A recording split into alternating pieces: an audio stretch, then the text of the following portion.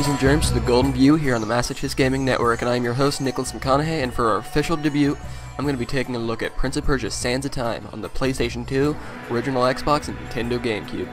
Prince of Persia Sands of Time, in the simplest terms, a third-person action-adventure platforming puzzle game.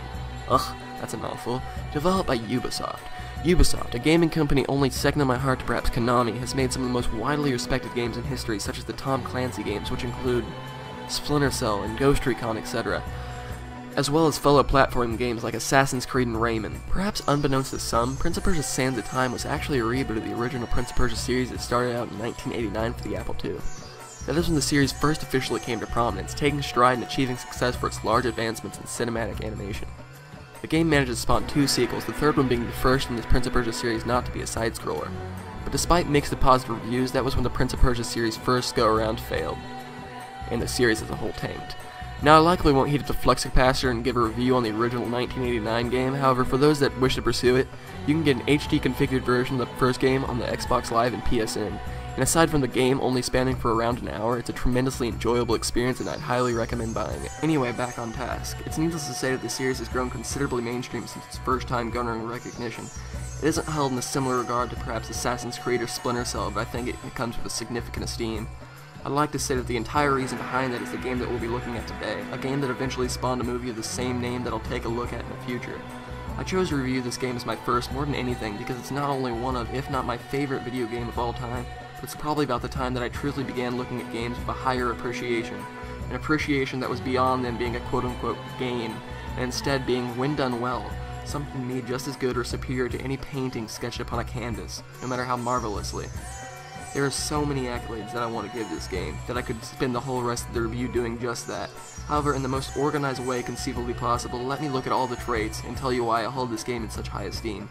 The story begins with King Sharaman of Persia and his son, the nameless prince, as they are passing through India with intention of making it to both free and conquer a city with the assistance of his vizier.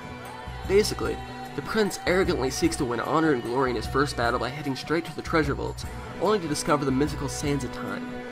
The arrogance and recklessness, I would say, besides the sands of time, are the elements most borrowed from the game and put into the movie. Oh, and for the record, no, you never do actually learn the prince's name throughout the series. Sands Warrior Within, Two Thrones, the 2008 game, and Forgotten Sands all keep going with the gag of him simply calling himself the prince. In the movie, however, they actually do decide to give him a name, naming him Dastan, which translates to hero in Persian. He quickly learns that the device enables him to successfully turn back time, albeit only for a short period, prince presents the dagger to his father, however the vizier demands that the item be given to him as payment for his assistance. While the king would refuse, after a point the vizier would successfully manage to manipulate the prince into utilizing the dagger, and thus releasing the sands of time from the hourglass and turning all the occupants of the palace into monstrosities. The only individuals that are unchanged from the disastrous happenings, however, are the vizier, the prince, and the princess of the invaded city, Farah. The prince eventually finds himself teaming up with Farah in an attempt to return the sands of time to the hourglass, and that truly is where the story begins to unfold. It's a relatively simplistic premise between the two. I mean, you could tell from the get-go where they're headed—the Prince and Farah. However, in the game, it comes off as fresh and differentiating. Maybe because of the blatant chemistry that the characters have together, or maybe it's in their own special way, the Prince and Farah are both likable and relatable. I say that their relationship is simplistic, however the other elements sell way more than enough to make the story original and great. If I could describe the story of this game in a single word, just one, I think that I'd have to go with the word adventurous, which might very well be what I use to describe this game as a whole you begin to truly appreciate all that they've been through in their journey, the obstacles they've had to face, and notice the slow but steady changes in behavior from both main protagonists. The story is creative, fresh, enriched, and one I wish I'd never had to say goodbye to. Whenever I'm comparing this to something, or more often not comparing something else to this, usually the types of games are hack and slash, like God of War, the newer Castlevania, Dante's Inferno, and so on. This isn't actually much of a hack and slash style game, really. The fighting mechanics are more resembling of something like Ninja Gaiden, where the attacks are arguably more strategically planned out. You'll spend almost the same amount of time on defense as you will on offense, having to execute your moves with more precision and calculation, and to be ready to block every time that your adversary starts swinging. Mind you, as challenging as the fighting aspect can be in this game, I don't find it to be as heckling and damaging to my controller as, say, Ninja Gaiden Sigma or Ninja Gaiden Black. While I say the fighting is at times troublesome and challenging, the controls are very, very good. They are more in-depth than most games that I've seen, and bring more out of the particular opponent than any other game that I've seen as well. As for the mechanics when it comes to moving, those especially take some getting used to. They're also considerably complex. However, like a bad itch, they'll grow on you. I remember when I first started playing the game and I couldn't successfully do much of anything. I didn't know how to jump from one wall to the other very accurately, or as I said, do much of anything. But I'm happy to say that things have changed for the better. I found myself flying through levels that previously would take me hours just by how used to the controls that I got. Controls are also very forgiving, and with the sands of time, the platforming is actually more invigorating than tedious. If there weren't sands of time, you'd spend a compilation of your gaming time simply on repeating parts that you've already done just to take a second shot on something that you were stuck on. But with this game, you generally get a chance to rectify your wrongdoings. For the controls that they put the gamer in, they're very admirable, and well worth your time. I'm giving them a solid 9 out of 10 for controls. There are many people that graphics are a crucial element with their games, and there are even some that'll completely neglect a game that isn't of today's consoles. That's not me. In fact, I find myself sometimes revisiting my favorite PlayStation 1 and PlayStation 2 games more often than playing games of today's generation. I'm not one of those people that thinks the previous generation of games are necessarily better either, rather to say that I try my best to explore all of my options and won't let a release date stop me from pursuing a game. I'm not trying to say that graphics aren't important either, or that the scenery shouldn't be intricately illustrated in a way that brings the story more to life. I'm just trying to say that just because a couple things may be a tad choppy, that shouldn't stop you from admiring the other possible elements of beauty. With this being said, for its release in early 2000s, this game garnered a considerable amount of critical acclaim for its graphics, and rightfully so. Now, they might not be something that cause you to jump up and down on Oprah Winfrey's couch like a crazed chimpanzee now, but I still think they're nicely formulated.